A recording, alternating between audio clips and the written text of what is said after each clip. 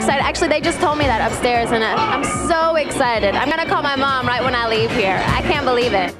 We were with Britney Spears just moments after she found out she broke a record. Her second CD, Oops, I Did It Again, sold a whopping 1.3 million copies last week, and that is the biggest week ever for a female artist, shattering Mariah Carey's record by more than 500,000 copies. It's so weird because the last album, I was just happy with it selling,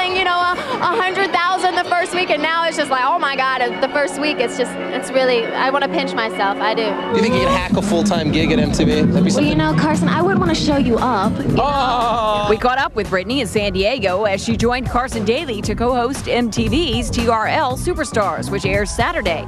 No surprise here, but her CD debuts at number one on the music charts, ending NSYNC's incredible eight-week reign on top.